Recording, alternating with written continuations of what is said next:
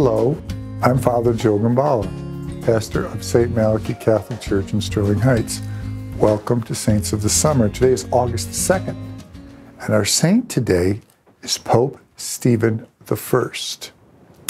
Now, Pope Stephen lived in the mid 200s, and at that time, the Roman emperor was a man named Decius. Decius was a very greedy man who wanted to get as much money as he could because he had plans to raise an army and march on Persia.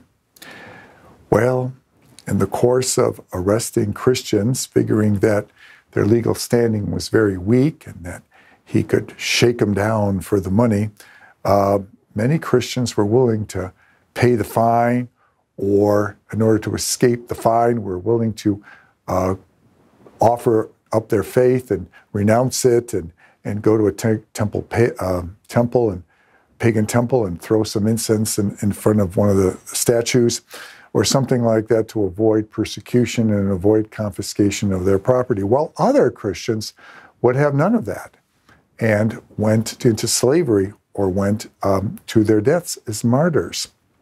When the persecution ended, uh, many of these Christians who had uh, fled or who had sacrificed to the pagan temples and, and, and at least had made an appearance of, of giving up their faith, wanted to come back.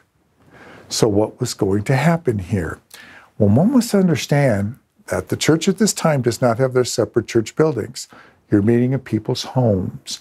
So, imagine if you're one of the houses where Mass is celebrated, and in your family, you lost a loved one who was arrested as a Christian, did not renounce the faith, and was martyred or was sold away as a slave.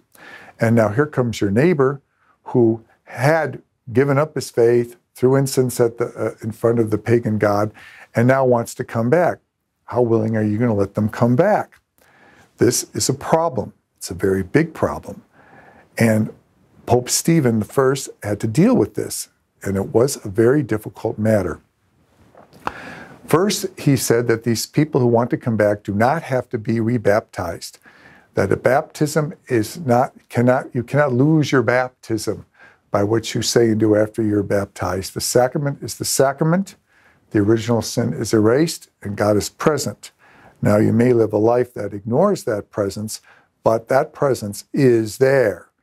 And from there, uh, Pope C- Stephen I and following popes developed a system which evolved into what we know today as the sacrament of reconciliation, so that people who have fallen can come back. Their baptism is intact, but through the sacrament of reconciliation, their sins are forgiven.